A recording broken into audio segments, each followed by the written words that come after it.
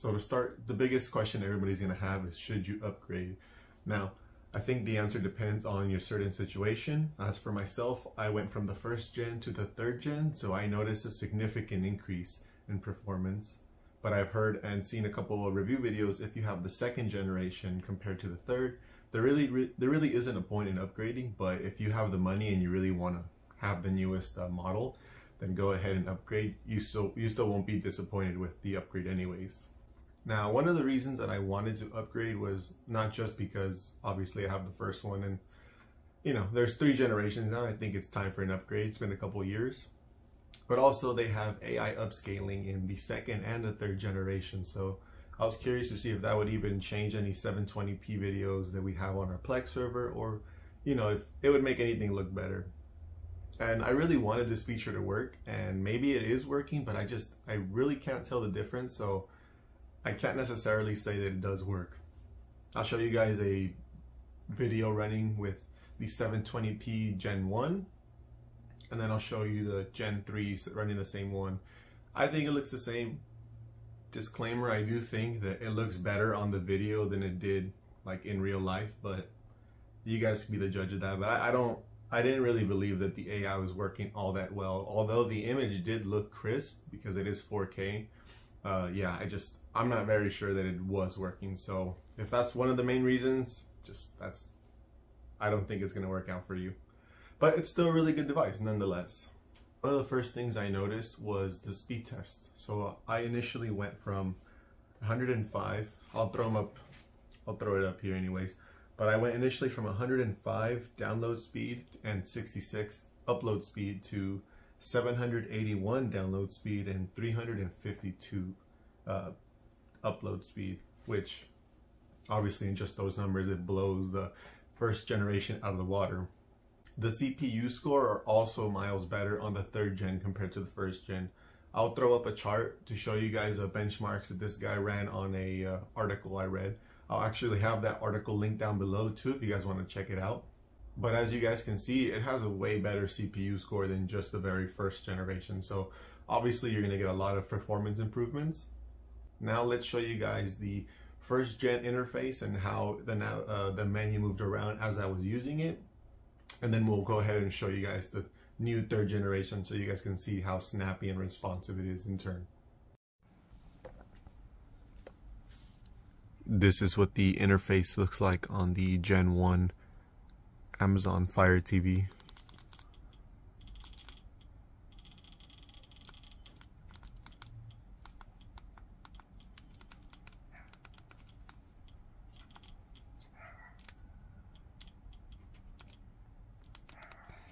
I mean, it's faster than it normally is, which is good.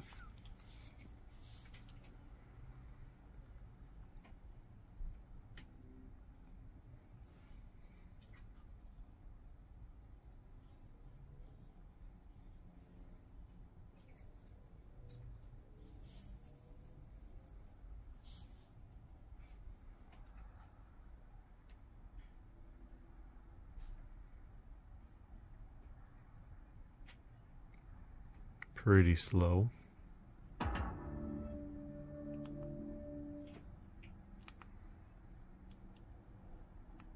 Let's just put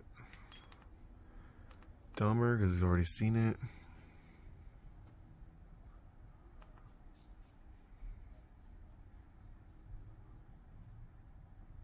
If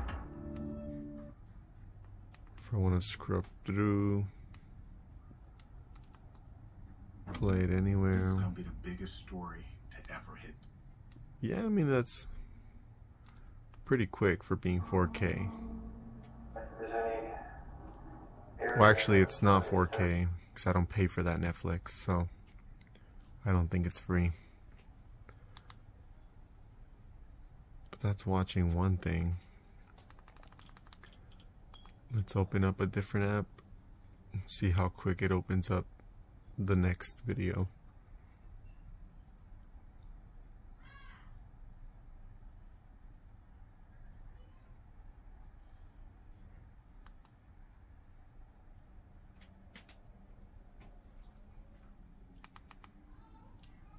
Hmm, of course. Hell yeah.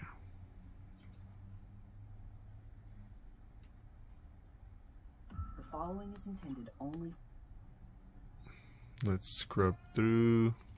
For mature audiences. Denji, it's a beast. Oh, that just took a while to load.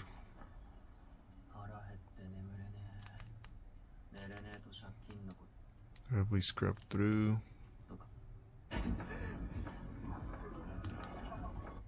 Hell yeah. Go back to Netflix, app we were just on.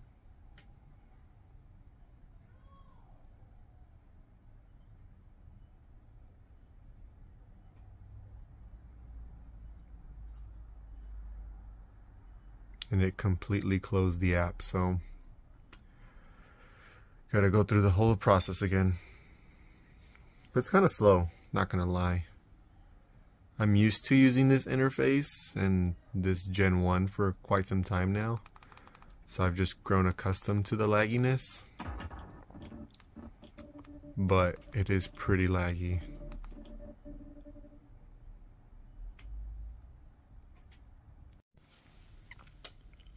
This is now the interface with the Gen 3 Amazon Fire Cube. So let's go to Plex.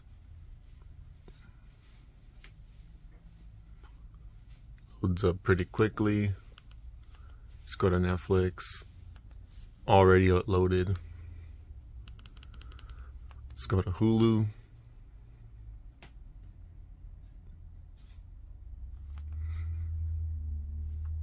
Already opening up within a couple seconds.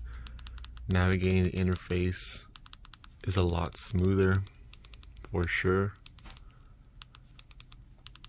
You know everything's not choppy. And if we just go let's go to netflix. Let's just play earth storms skim through already loaded go home let's go to hulu Let's just play Spy X Family. Already loaded. Already loaded.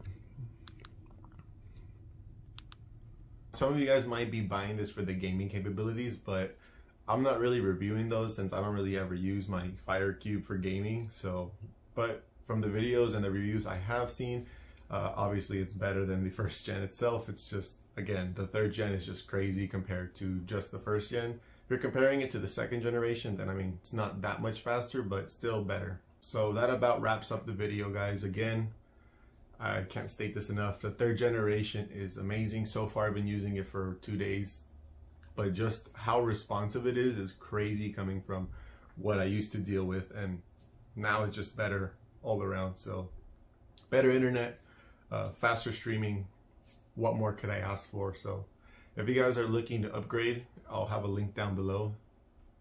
Uh, but yeah, thank you for watching the video and I'll catch you guys in the next one.